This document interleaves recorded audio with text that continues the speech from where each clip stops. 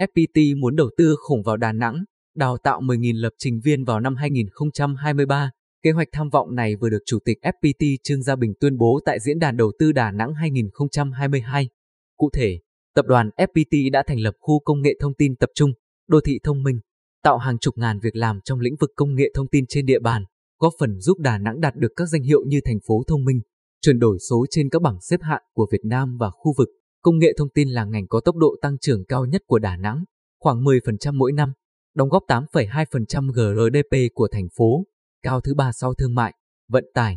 Trong đó, FPT đóng góp 1 phần 5 doanh thu lĩnh vực công nghệ, thông tin của thành phố. Ông Bình thông tin, Chủ tịch tập đoàn FPT cho rằng Đà Nẵng phải trở thành trung tâm khởi nghiệp, trung tâm thử nghiệm các công nghệ mới, trung tâm phát triển game, thúc đẩy phát triển kinh tế số. Thành phố phải xác định đây là một mũi nhọn chiến lược.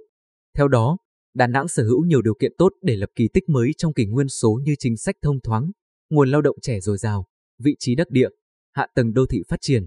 Hiện Đà Nẵng mới có hơn 50 trong tổng số 3.000 doanh nghiệp start-up của cả nước. Chính vì vậy, Đà Nẵng cần thu hút nhiều hơn nữa các cơ sở đào tạo, tăng số doanh nghiệp khởi nghiệp đổi mới sáng tạo, start-up, lên gấp 10 lần. FPT muốn đầu tư vào Đà Nẵng một tổ hợp giáo dục lớn, đào tạo 10.000 lập trình viên cho tới năm 2023, phát triển công nghệ mới, hỗ trợ khởi nghiệp tại địa phương, Chủ tịch FPT tuyên bố. Việt Nam đang từng bước gia tăng vị thế trong lĩnh vực công nghiệp phần mềm game. Chúng ta hiện xếp thứ 7 về số lượt trò chơi được tải nhiều nhất trên thế giới. Dẫn thống kê của App Annie 2020, ông Bình cho biết, cứ mỗi 25 game được tải thì có một game do công ty Việt Nam sản xuất. Trên,